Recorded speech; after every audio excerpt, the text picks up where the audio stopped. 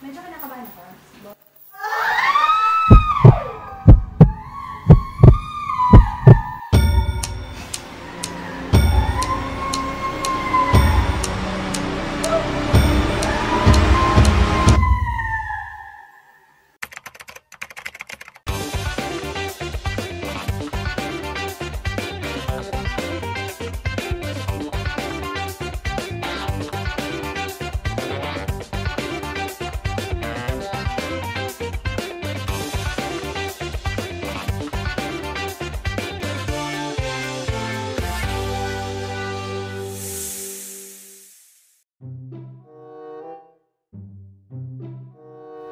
Uy! Diyan ka pala! Okay? So yun yung mga credit tips. Kunwari hindi ko alam yung camera. Anyway, napaka-special itong vlog natin today kasi meron tayong special guest, okay? So, sino special guest natin? Surprise! Actually, nag-text na nga siya eh. Nandito na siya, siguro mga 10 seconds, okay? Papunta na siya dito sa facility natin. Pero bago ang lahat ng yan, kumustahin muna natin ang inyong breeding season. Kumusta naman? Okay naman ba? Ayun na siya. 10 seconds para 5 seconds lang yun. Okay. Hello! Hi! So guys, si Miss Yumi.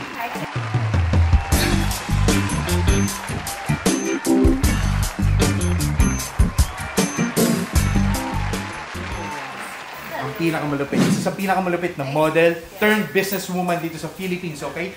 So, yan, madam. Okay, so, kumusta naman?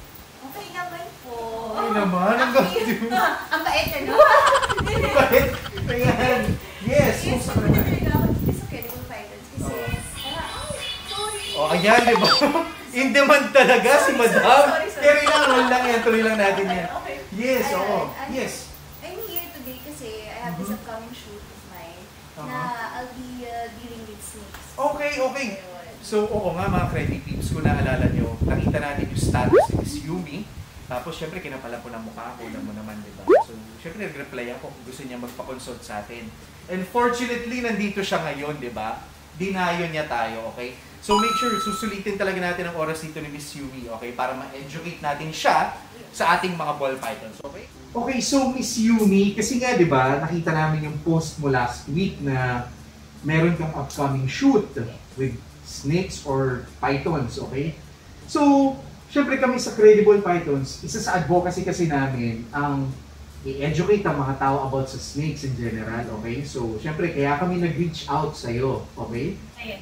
So, tama yun. Uh, Mhm. I have this upcoming shoot that Mhm. uh, involves snakes. Okay. Particularly ball python. Ball pythons, so, okay, okay, I'm wondering if Mhm. you guys could help me out and inform me on what to do, do's and don'ts, uh, Yes. proper handling of snakes. Yes, tama ka dyan, Miss Yumi. Kaya nga naman kami dito sa Credible Pythons, very, very willing kami, very much willing kami turuan ka.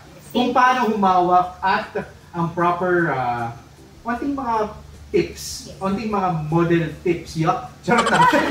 konting mga tips kung paano ka kunwari lang mag-headshot with snakes, ganyan, and all. Siyempre, to the rescue kami Credible Pythons para dun sa problema mo, okay? Para wala ka nang isipin. Yes. At you, syempre, you, at para mawala yung takot sa paghawak ng snakes, okay? Ng, ano, extra confidence. Exactly. So, syempre, at tuturuan na kita mag-model ngayon. Ay, ay, sorry. I mean, mag, mag-hawk ng snakes, okay? Miss Yumi, ready ka na ba? Ah, ma-meet ang iyong co-model. Yes. Naku, napaka, napaka, Ready, ready. napakabait nito. Napakabait. Papa M nga pala, ang iyong co-model. Hello, Credit Tips! So, welcome back sa Credible Pythons facility. Miss Yumi, welcome. So, kami na bahala sa uh, tuturo ng proper handling sa ating mga ball pythons. Uh, will you please repeat it? Okay, medyo nakutan siya doon, pero pwede na yan, Dindi. Okay. Okay, hi Miss Yumi. Uh, start na tayo sa handling. So, mag-start muna tayo sa hatchling and then lipat tayo mamaya sa medyo mas malapit. So, first and foremost, um, lagi natin yung tatandaan, before natin i-pick yung ball python or hawakan, make sure natin yung ulo niya, yung positioning ng ulo niya, is i-check natin. Kasi doon natin makikita kung mag-strike siya or hindi. Katulad nito, medyo nakaangat yung ulo niya, pero it doesn't mean mag-strike siya. ang isang titingnan natin is naka-coil siya ng ganyan, tapos a-atras niya yung ulo niya. So that's the striking position. So, So pag ganito, ang technique lang na gagawin natin is itatap natin yung ulo niya. So pag tinap natin yung ulo, so mapansin mo, umatras siya. So that's the time na pwede mo siyang kunin. okay. So, dahil natago na niya, kukunin na natin. So, ito ang ating mga hatchlings. So, usually ang hatchlings natin is mas maliit ng konti dito. So, ito mga around 5-6 months old na. Mhm. Kaya medyo malaki na. So, once na-handle mo na, generally, ball pythons are docile. So, temperament-wise, mabait sila. Sila yung pinaka-mabait na snakes sa mga collections. Kaya isa to sa mga sikat na inaalagaan ng mga hobbyists. So, once na na-handle mo na ang ball python, so maglilibot lang siya. So, curiosity lang yan. So, Miss Yumi, babalik ko. So, itry mo ikaw kumuha ka. Okay, sige, sige. So, So first, i-check mo yung ulo kung nasa yung position niya. So kung nakaangat siya, tap mo yung ulo. So pag inatras niya, pwede mo nang kunin. Okay. What is pag nakaganyan? Pag nakaganyan na siya, pwede na siyang kunin. Safe So yan. safe na yan kunin. So, that way still Okay. Medyo Sige, okay lang yan. Matatak mo. Kunin mo lang. Basta kunin mo lang. Ano yan? Kasi yun. Ay, Ayan. So, nakatingin sa eyes ko eh. uh, itap mo yung ulo. Medyo kinakabahan sa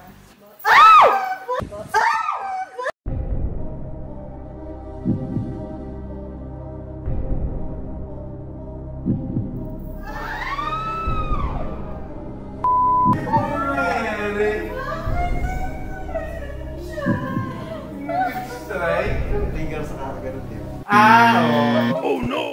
Ah, feeling niya kasi medyo provocative yun eh. So, Okay. So yung movement mo kasi kanina, ayan. oh. Ayan. So, kala niya nag-offer ka ng food. Oh.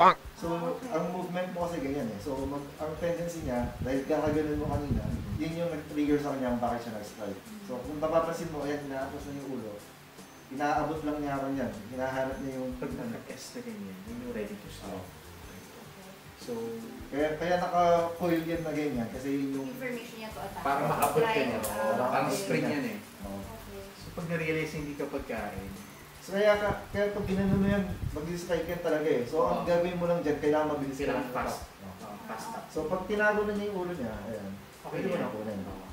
Nagising na siya sa reality na hindi ako papakainin. Parang Kaya gano'n. sabihin niya, mas malaki sa akin to, hindi hindi ko kaya to.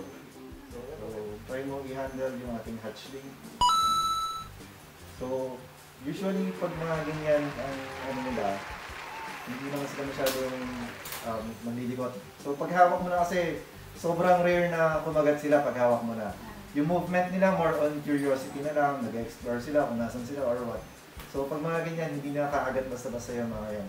Unless yung kamay mo, amoy daga or amoy Ah, so sensitive Rodent. sila when it uh, comes to roses. Oh, kasi ah, yung kung mapapansin mo, nag-flip yung tongue. So, yung, yun yung time na parang ah, tinitikman nila yung air.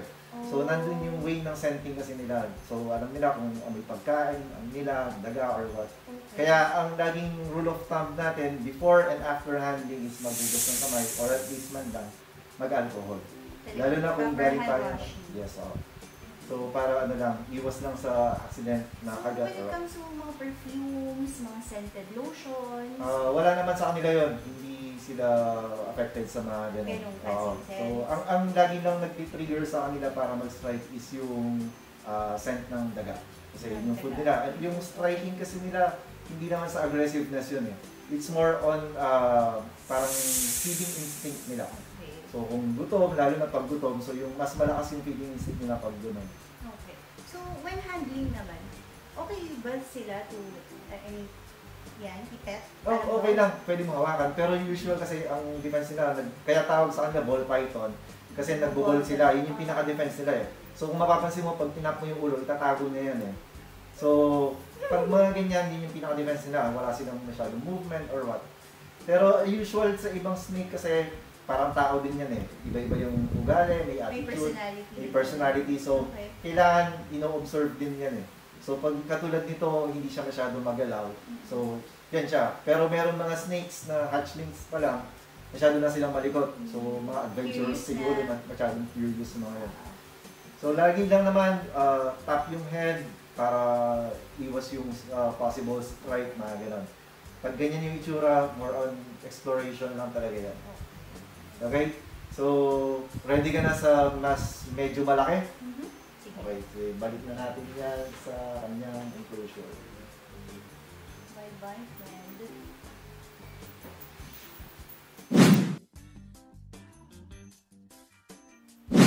Okay, uh, Miss Yumi. Ah, galing tayo sa hatchling kanina, so lipat tayo sa yearling. So medyo mas malaki ng konti. So, ito yung yearling natin. Yearly meaning to say, Ah, one year old. one year old pa Oo. lang. yun yung mga usual tawag namin pag less than, ano, pag more than one year or less than two years old, tawag. Yearling, Oo. tawag. Parang general term lang, hindi man exact na one year talaga. Pero yun yung parang average age nila, one year old or ano. So, ito, so same usual before and a- before mo kunin is check kung nasa yung position ng head or what. Mhm. So, itap lang kung nakaangat, then pag naitago na niya, pwede natin kunin. So, ito is different from the rest of our snakes kasi ito is scaleless ang tawag. So, wala siyang scale katulad nung usual na maahas. Okay. So, mapapansin mo yung curiosity niya nandyan. So, malikot lang siya ng konti. So, wala naman itong uh, uh, intention na mag-strike kung makikita mong ganyan. So, more on curiosity lang yung ginagawa niya. So, tayo mo hawakan. Okay. Hi, baby. So, there you go. Okay ba silang hawakan pagka busog? Ah, pag kakapakain lang, let's say kakapakain mo lang ngayon, hindi namin ina-advise na hawakan. Kasi ang tendency nun, pag na-stress sila, malalamog yung katawan, isusukan nila ulit yung kinain nila. So, napaka-stressful sa kanila ng mga ganung time. Kaya iniiwasan natin na magsuka sila ng kinain nila. So, ang ginagawa natin after feeding, kung gusto mong i-handle, at least 3 days. Kasi pag ah, estimate kasi 3 to 4 days, ah, medyo na lusaw na yung kinain nila. So, nag-digested na. So, hindi na nila isusuka. Hawakan. Pwede lang i-handle. Oo. Oh, okay. Gano'ng kadalas sila dapat pinipet? Um, usual naman kasi kung gusto mong masanay sa handling yung snake, ah, at least mahawakan mo lang siya at least ah, once a week. Once a week? Oo. Make Basta sure na every after feeding to. Ay, I mean, after... few days or at least at least 3 days before ah, after mo siyang pakainin. Mhm. Okay. Ah, ayun siya. Ayan. So more on curious lang siya. Hindi porket nakaharap sa yung ulo kakagat siya. Pero hindi. Na curious lang. Ayan. Yes. So, ang ball ng isa, siya. ang isang Ball ano niyan, oo, parang kumahanap na siya ng kinakapitan niya kaya umiikot siya sa rin ng ganyan. Pero when handling ba, okay lang nahawakan ko siya sa tail, sa Ah, head? wag lang sa edge ng tail Oh, or okay. ano. Kasi yung So, balance, here, here. yung balance nila kasi ah, kailangan nandun eh. Kasi kung hawakan mo lang sa dulo ng buntot, wala siyang ano, wala siyang balance. Okay, okay. Kaya yung kaya yung nangyayari ngayon, kumakapit siya sa'yo eh. Naghahanap siya ng kakapitan. So kala mo nagko-constrict siya, pero hindi naman. Kumakapit lang. So yun, okay na. Gawin na natin. So para makalipat tayo dun sa ating mga adults. Okay. So, ang tinatawag natin pastel ivory. So, ivory is parang off-white siya, hindi So, siya pure adult na. So, yes. Ito, adult na. So, usual sa mga adult, rarely na silang mag-strike talaga. Question, So, mas, ilang, ano how young how old? ah pag sinabi nating adult, mag-start na ng mga 2 years old pataas. Siya, Ito, nasa, kung hindi ko magkakamali, nasa around 3, 4 years old. 3 or 4 years old siya. So, ma ang mga adults medyo yan, mas malaki, mas mabigat. Pero sa experience namin, mas kung, kung sa striking, mas tamad na silang mag-strike eh. Mas So, mag-start. hindi na masyadong ano eh, unless talagang may time na talagang, sabi ko nga, iba-iba yung personality. Talagang meron hindi na iwasan merong may ugali talaga na striker or aggressive. So, itong mga sa amin naman, wala naman kami ganun na alaga dito. Yung kanina yearling, Oo. scaleless siya. no? Scaleless. So, mapapansin mo, medyo mas, ay, Ah, may skills May skill ito, kaya kung mapapansin mo, mas malis pa yung kanina, mas smooth eh. Hawakan while shedding season nila? Pag- Nag-shed ng mga Oo, pag hindi namin ina-advise na i-handle pag uh, pre-shed ang tawag namin doon. Ang pre-shed, makikita mo pag medyo dark yung dull yung kulay, yung mata nila may medyo bluish. So pag mga ganun, hindi natin hina-handle kasi possible mag-break yung skin nila eh. Ah, So pag nag-break kasi yung skin nila sa alanganin part, uh, pag nag-shed sila, hindi mag-shed ng buo. So minsan may tinatawag na stock shed. So may iwan yung shed sa So, balat. hinahayaan nyo lang. So, shed ha-. Yes, oo. Papabayaan lang natin. Special case lang yung sa skillless natin kanina. Meron siyang extra, uh, kumbaga, TLC. Mhm. Kasi- ATLC. Oo, kasi hindi, ano, nagsished on its own. nagsished siya pero yun nga, broke, siya. broken yung ano, na, bibitak-bitak kasi yung shed eh. So may kailangan TLC yun. So unlike sa mga to, uh, natural lang naman ang shed nila. Their So pag nag-shed sila. Okay. Gano'ng katagal yun ang shedding season nila? Ang shedding nila, usual, mag, ano yan, ah, five days na gano'n. So, ino-observe lang Five naman na. days lang? Oo, minsan na, days oh, usually five days. So, minsan one week na gano'n. So, ayun, masyado curious yung alaga natin dito. Nga. So, may, ano, may, may, may tutulong pa ba ako na question or ano, okay na yung, okay ka na, medyo, Medyo, confident ka na medyo sa pag-handle ng na. snake. Ayan. Okay. Medyo comfortable. So, hindi porket nakaharap sa'yo, mag-strike yan. So, more on, sabi ko kanina, curious lang Sa siya. Oo. Basta yung, yung ulo niya hindi naka-move back na parang naka-coil na S. Mhm. So, walang, ano yan, walang strike na mangyayari.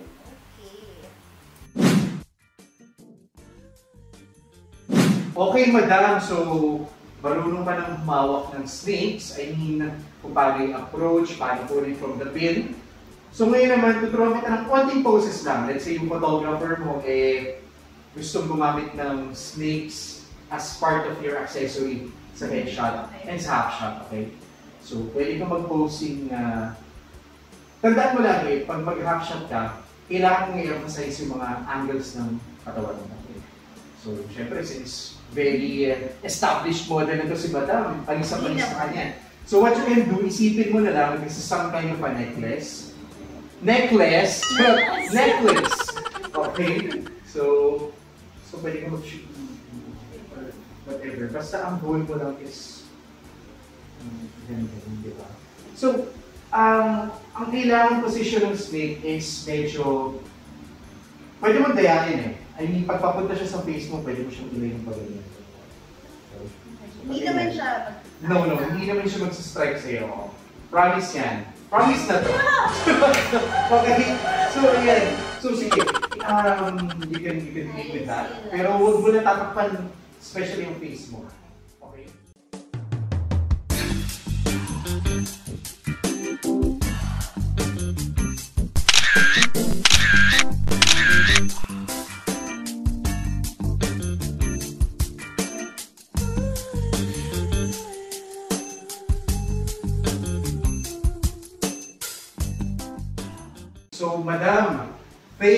much sa time Thank you very much din At syempre, ah, sana marami ka natutunan. Wala naman natutunan. Yes, Very yes, yes.